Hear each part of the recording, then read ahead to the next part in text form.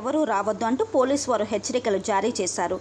గుంటూరు జిల్లా వినుకొండ పట్టణంలో కోవిడ్ కేసులు పెరుగుతున్న దృష్ట్యా పరిసర ప్రాంత గ్రామాల నుంచి పట్టణాల నుంచి ఎవరు వినుకొండకు రావద్దని పట్టణ సర్కిల్ ఇన్స్పెక్టర్ చినుమల్లయ్య హెచ్చరించారు.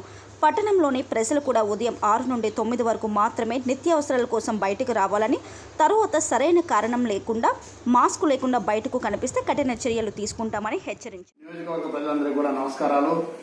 ఈ కోవిడ్ సందర్భంగా మీరందరూ దయచేసి వినుకొండ పట్టణానికి ఫ్రీగా రావద్దు. కేసులు ఎక్కువగా నమోదవుతున్నాయి. అలాగే హోటల్స్ కానీ టిఫిన్ సెంటర్స్ దాబాలు ఏవి కూడా లేవు. మొత్తం క్లోజ్. ఎటువంటి ఏవి కూడా నడవు. మీరందరూ కూడా ఇక్కడ వచ్చేసి ఏదో ఫుడ్ దొరుకుతుంది లేదా తిరుగుతాము. బజార్లో అంటే మాత్రం ఒప్పుకునేది లేదు. పద్నాలుగు రోజులు కంటైన్మెంట్ ఉంది. ఈ కంటైన్మెంట్ మీరందరూ సహకరించి ఈ కోవిడ్ బారిన పడకుండా మనం మన పట్టణాన్ని కాపాడుకోవాల్సిన బాధ్యత ఉంది. అలాగే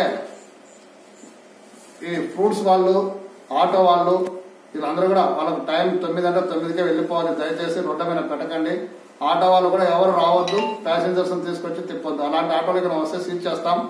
వాటి మీద ఇప్పుడు కేసులు కూడా నమోదు చేస్తాం. గతంలో నూట యాభై సీజ్ చేయడం జరిగింది. నూట యాభై మంది మీద కేసులు పెట్టడం జరిగింది. బండ్లు కూడా మొన్ననే రిలీజ్ చేయడం జరిగింది. అది ఎమ్మెల్యే గారు ప్రోద్బలంతోనే. ఎందుకంటే సార్ ఇచ్చేయండి చాలా రోజులు అవుతుంది అని ఆయన చెప్తే కూడా ఇవ్వడం జరిగింది. ఇప్పుడు మళ్ళీ కేసులు నమోదు చేసి సీజ్ చేయడం జరుగుతుంది మొత్తం బండ్లు కూడా. టూ వీలర్స్ కూడా రావద్దు. టైం అయిపోయిన తర్వాత తొమ్మిది తర్వాత ఎవరికి అలవలేదు మళ్ళీ ఉదయం ఆరు గంటకే పాలు నిత్యావసర వస్తువులు.